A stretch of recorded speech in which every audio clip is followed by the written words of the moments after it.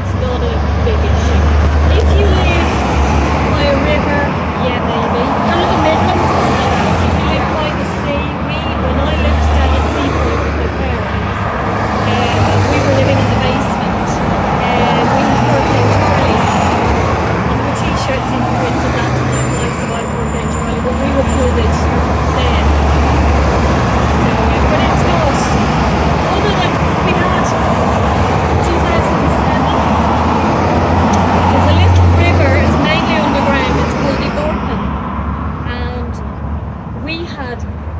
flash rainstorm here.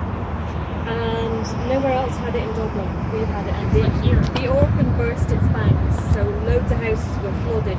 Down the end of our road where you turn into the estate at Merville, the cars were floating away.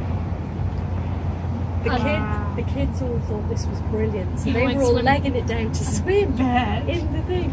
But we, we were, our front garden was flooded, and I had to use the wheelie bin to um, get the water out.